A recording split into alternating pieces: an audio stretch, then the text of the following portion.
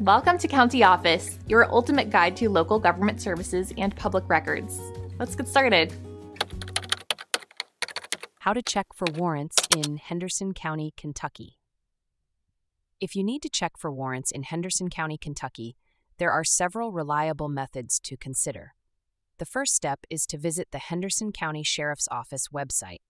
They often provide information on active warrants and may have a searchable database.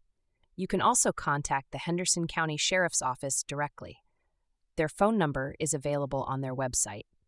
When you call, be ready to provide any relevant information, such as names or dates of birth.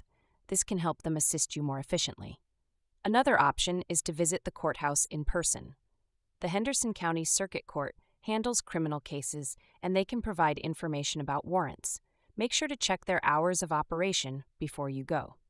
Additionally, you can check online databases. Websites like countyoffice.org can help you find public records related to warrants in Henderson County.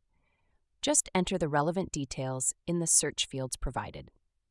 If you prefer a more comprehensive search, consider reaching out to local law enforcement agencies. They can provide guidance on how to check for warrants and may assist you in your search.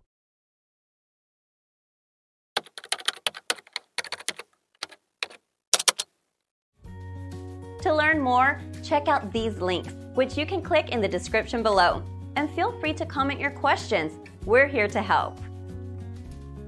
Thanks for tuning in to our video please like and subscribe and leave a comment below. See you in the next video.